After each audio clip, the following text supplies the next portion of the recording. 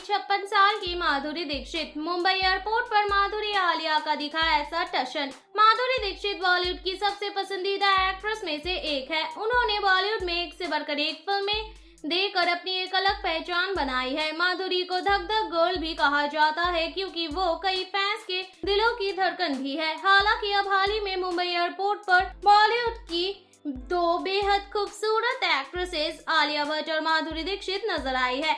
Alia Bhatt black dress में जहाँ बेहद ही खूबसूरत देखने को मिली, लेकिन जब यहाँ माधुरी को स्पॉट किया गया तो खूबसूरती की तुलना माधुरी की आलिया से देखी गई। और यह छप्पन साल की माधुरी, तीस साल की आलिया भट्ट को भी कड़ी टक्कर देती नज़र आई। वैसे ये दोनों ही बेहद ही खूबसूरत देखने को मिले।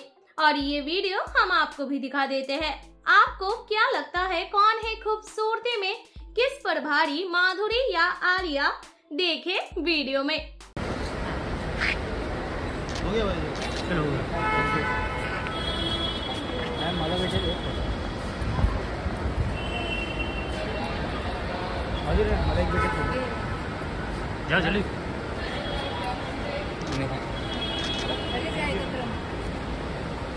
माय थँक्यू मॅम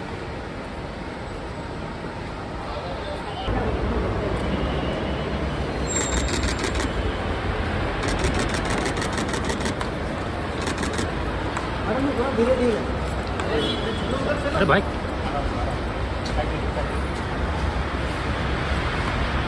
आलिया जी रुकिए ना आलिया जी।